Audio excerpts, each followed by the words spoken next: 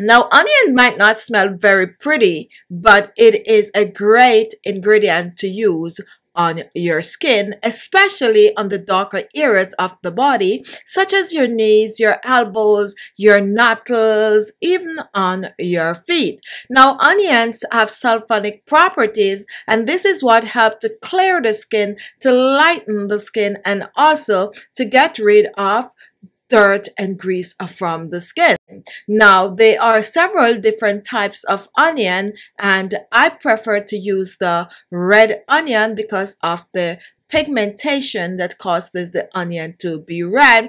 It tends to be a little more effective and also more milder when you use it on the skin. When you use onion on the skin, it might not smell very nice, but it is really effective.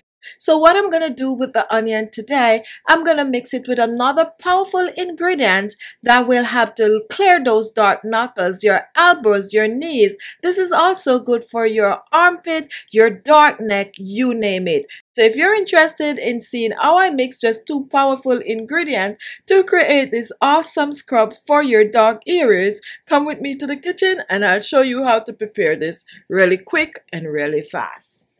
So now that we cut our onion in two halves, what I'm going to do next, I'm going to place a bowl and I'm going to pour about a tablespoon or so of baking soda in the bowl. Now once this is done, I'm just going to take my onion just like this and I'm going to dip it in the baking soda. So just totally cover with the baking soda and look at this up close. Here it is. And what I'm going to do next, I'm going to just use this to exfoliate the dark knuckles. You want to do this just before you take your shower, guys. You're going to exfoliate your dark elbows. Just exfoliate just before you take your shower. If you need more, dip back in and exfoliate again.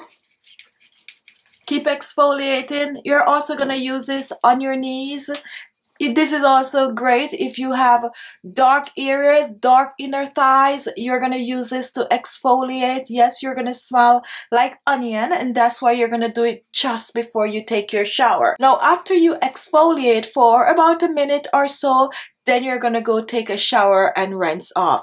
Now you can keep a little container like this in the bathroom with the onion and you can choose to use it every evening or every morning just before you take your shower. However, each time you use the onion, you want to cut off the top of it like I'm showing here. Just cut it like this and reveal a fresh onion and then you're to dip back in your baking soda. You can also use fresh baking soda. So this onion will last you maybe about a week or so. So just keep exfoliating your knuckles, your elbows, on your knees, and you're on your way for even skin tone. Now use it as often as you wish for best result. Okay, so there you have it guys. Two ingredients that can help to clear your dark knuckles, your elbows, your knees, and also your dark inner thighs.